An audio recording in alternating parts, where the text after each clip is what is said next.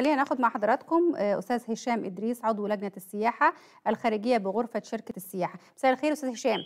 أهلا بك يا فندم واهلا بالساده المشاهدين كيف يعني هذا الخبر أن مصر هي الثانية افريقيا بالمطارات المعتمدة صحيا؟ هو طبعا بالنسبة للمجلس المطارات اللي هو ACI أعلن إن مصر خد مطار القاهرة خد شهادة الاعتماد الصحي اللي هي ال AHA وده يعتبر المطار السادس بعد مطار الغردقة والأقصر وأسوان وبرج العرب. وطبعا يعتبر مصر هي الدولة الثانية في أفريقيا ست مطارات. بعد جنوب أفريقيا جنوب أفريقيا كان فيه اعتمدوا تسع مطارات.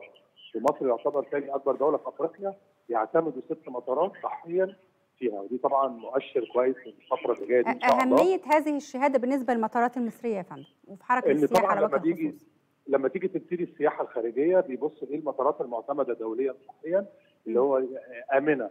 من كل ال- المجالات يعني. فيعتبر مصر هتبقى من أول الديستنيشن اللي الناس تبتدي تفكر فيها لأن الناس هتبتدي تفكر على المدن الصحية من أول المطار لحد الفنادق والاجراءات الصحية اللي بتنفذ وطبعا فدي يعتبر خطوة مم. أنا شايف إن مصر الحمد لله بتاخد خطوات إيجابية بالنسبة النواحي الصحيه وده الأهم في الفترة ما بعد كورونا لأن السياحة ما قبل بعد كورونا هتختلف عن قبل كورونا لأن هي تعتمد على الصحة في الأساس. بشكرك جدا أستاذ هشام إدريس عضو لجنة السياحة الخارجية بغرفة شركة آه، السياحة.